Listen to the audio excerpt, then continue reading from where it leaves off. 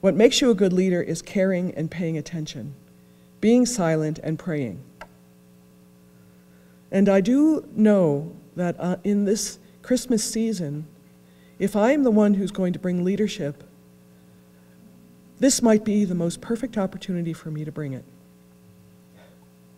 Can you, in fact, see that this is the birth of your leadership in the midst of what looks like a horrible mistake?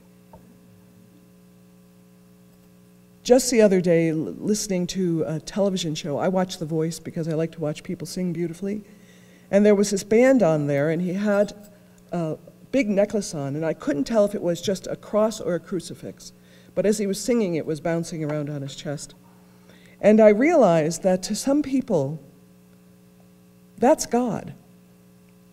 So the opportunity that Christmas is bringing of something being born about possibility, if the only way you know that is through identification with the death of Jesus as opposed to the birth of Jesus, that can be a very confusing way to experience life and love and possibility.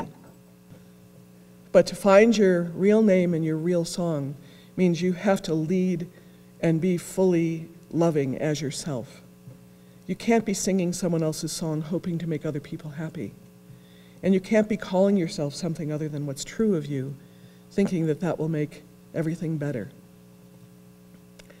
True leadership is where you care about your world, you bring the blessing, and you receive the blessing. But I don't really um, think the bringing of the, the spirit of leadership, of silence in heaven, and of prayer has to do with what we've been distracted with. Not that the exchanging of presents and the celebration isn't wonderful. We could, let's enjoy that, but let's not be fooled that the responsibility we have is to be the hope, to handle the hopes and fears of all the years because we're born.